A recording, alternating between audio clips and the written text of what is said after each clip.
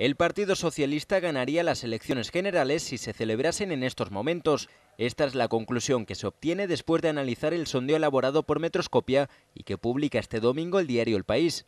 Según la estimación, el PSOE obtendría el 30,5% de los votos, mientras que el PP un 30,1%, unos datos que demuestran que más que una recuperación de los socialistas, se estaría produciendo una caída del PP, ya que desde las elecciones generales del 2011 los populares han perdido el 14,5% de los votos. Una caída del Partido Popular que se podría justificar con el caso Bárcenas. Durante el mes de agosto Mariano Rajoy explicó en el Congreso su verdad sobre lo ocurrido y además tuvieron que ir a declarar a la Audiencia Nacional varios miembros del partido como María Dolores de Cospedal, el objetivo del PP en estos momentos es frenar un voto de castigo de cara a las elecciones europeas que se celebrarán dentro de ocho meses. El deseo desde Génova es que se cierre el caso Bárcenas y que se continúen obteniendo mejoras en la economía española.